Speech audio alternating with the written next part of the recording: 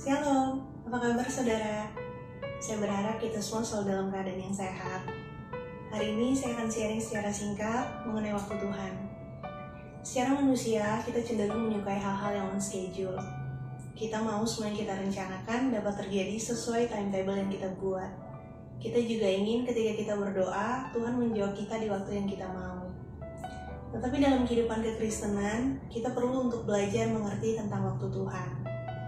Karena Tuhan yang lebih tahu kapan waktu yang terbaik dan tepat untuk kita. Oleh karena itu, ketika sesuatu hal tidak berjalan di waktu yang kita harapkan, jangan pernah kecewa dan menyangka bahwa Tuhan tidak memberikan kita yang terbaik. Dalam kitab Yohanes pasal 11, kita boleh belajar lewat kisah Lazarus.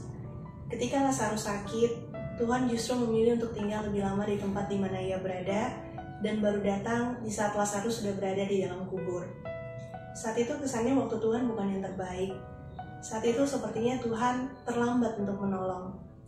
Tetapi ketahuilah saudara, waktu Tuhan bukan waktu kita. Dan sesungguhnya Tuhan tidak pernah terlambat untuk menjawab dan menolong kita. Hari ini saya akan ajak kita semua untuk belajar sama-sama mengerti maksud di balik waktu Tuhan yang kesannya membuat kita menunggu atau bekerja di luar waktu yang kita harapkan. Maksud Tuhan yang pertama adalah Tuhan mau supaya kita belajar percaya. Dalam kitab Yohanes 11 pasal 15, Tuhan berkata, Tetapi syukurlah aku tidak hadir pada saat itu, yakni pada saat Lazarus sakit. Sebab demikian lebih baik bagimu supaya kamu dapat belajar percaya. Tuhan mau kita membangun kepercayaan kita kepada Tuhan sembari kita menunggu waktu Tuhan tiba. Dengan demikian kita percaya bahwa ia tahu apa yang sedang ia lakukan. Kita percaya bahwa ia tidak pernah merancangkan yang jahat atas kehidupan kita. Dan yang kedua adalah maksud Tuhan, Tuhan mau supaya kita bisa melihat kemuliaannya. Dalam kitab Yohanes 11 ayat 40 jawab Yesus, Bukankah sudah kukatakan kepadamu, jikalau engkau percaya, engkau akan melihat kemuliaan Allah. Hanya dengan kita menanti waktu Tuhan tiba, di situlah kemuliaan Tuhan dapat dinyatakan.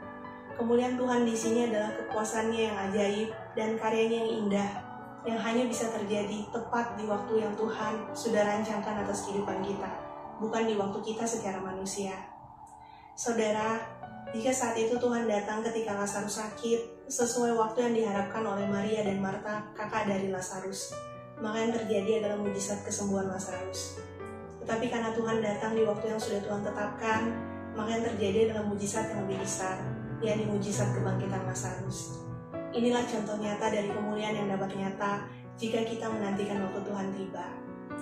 Karena itu, bagaimanapun keadaan kita saat ini dan berapa lama pun kita menantikan Tuhan, tetaplah percaya bahwa waktu Tuhan pasti yang terbaik.